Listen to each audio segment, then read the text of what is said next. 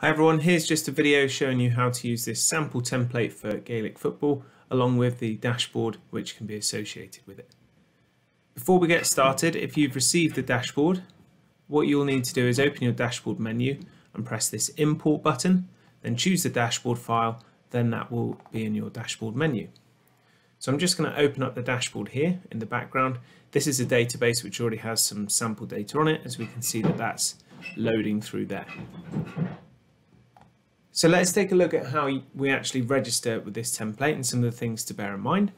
Not everything that you do is going to be relayed on the dashboard, uh, but just to give you some info here.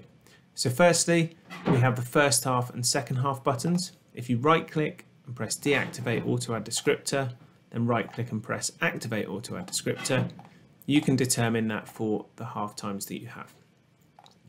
These possession buttons are in manual mode, so you'd leave that on when your team is in possession, turn it off when the ball goes out of play, um, likewise for the other team as well.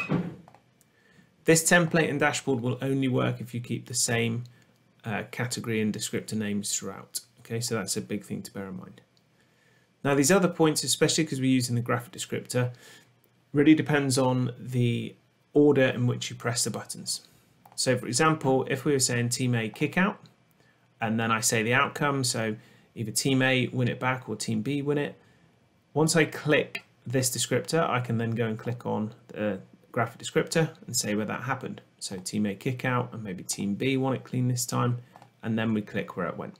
So I'm going to get a grey circle whenever team B win it, whoever's kick out it is, or an orange circle if team A win it. So again, team B kick out, if we do one break, Okay, it's grey circle, team B kick out, but team A win it on the break, then it's an orange circle. Likewise, it's similar for doing your shots. So shot from play here, let's say it was wide, I would click wide, then go and click on the graph descriptor. And this gives me a red cross. If I did another shot from play and we did save, okay, that one's a red circle. So I've put red crosses for wide and short. All these other options are red circles. To make the dashboard work properly, if a point or a goal is scored, you have to click the score button first. So I could say, um, let's do team B shot, and it was a point, so I'd press score, then I'd press point, and then I'd click on the graphic descriptor. So team B shot, score, it was a goal, and I'd click there. If it's a goal, it's a green cross. If it's a point, it's a green circle. So again, let's do team A, shot for play, score, goal. We click there, we get a green cross that shows up. The other things are pretty self-explanatory. If it's a turnover, press it and then say whether it was forced, and then you can add more detail. Same for uh, team B, unforced and the detail. You can go and click these on the graphic descriptor as well if you want to. I haven't really set it up to do that currently. Team A foul, Team B foul, you just press it when um, that happens. And then cards, you press who's got the card and the colour they've got.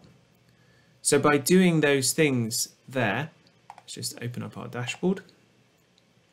Our dashboard's going to update. Remember, you can always just double click on uh, a part of the background to just refresh and check that all your information is coming through. So up on our dashboard, here think of orange is team A and this grey is team B. So we can see the number of possessions, the total number, uh, the total length of possession clips that are in there. And these are the outcomes for our kickouts. So let's look out here. This is saying team A's kickouts.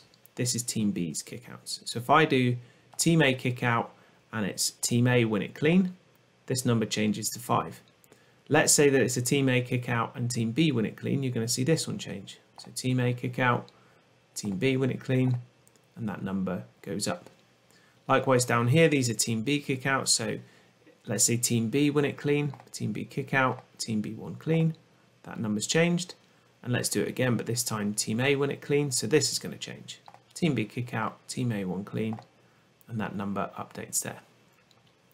This is just the, the total number of kickouts and how many of them are won. So whenever I press Team A kick out and then one of these descriptor options, this is going to uh, affect the data here. Likewise, the team B kick out one of these options is going to affect the outcomes down here. Fouls is just based on the number of times that um, this button is pressed. Same with the cards down here. Turnovers, again, the total number of turnovers and then whether they're forced or unforced. So let's do team A turnover and it's unforced. We've updated our information down here. Now looking at shots, the total is the total of any time that you press any one of these four categories. So we're just assuming that it's a shot from uh, one of these scenarios, from frees, penalties, or a 45.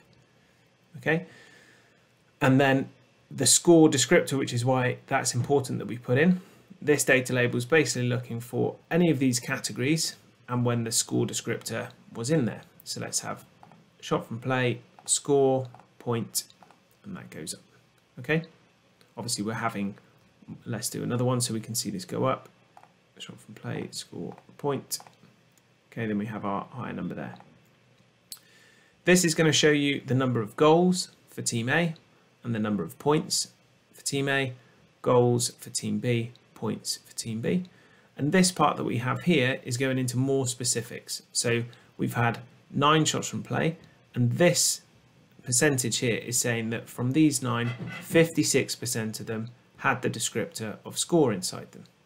Down here, this would be team B, shot from play, six of them, and 100% of those had the descriptor of, uh, of score inside them. So let's do another one, team B shot from play, and I'm not going to press score, point or go, I'm going to press short. And now we can see that that percentage has gone down. Okay, remember you can always, as I said, double click on the background to update.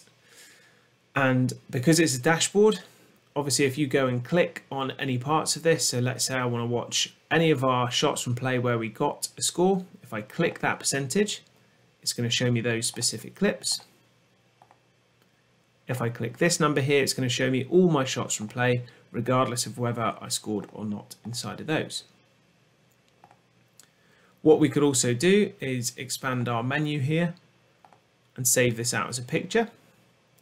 But don't forget you've also got a really powerful tool that I can press this option up here, my dynamic dashboard, and I might just want to refresh this data for the first half or the first 10 minutes. So I choose my time frame. This is the start point and the end point. Press refresh, and then all my data is going to change for my graphic descriptors and the data labels that are in there as well. So hopefully you find this a useful dashboard and a template. And what I would suggest is you're going to keep using Team A and Team B so everything works. The thing that you can then come into edit is the team name up here. So these are just text labels. So you can right click, press edit the label, and then change the text on it. So you can change it from Eagles to whatever name it needs to be. So orange is team A, grey is team B, and you can change up the names there. Hope you find that useful.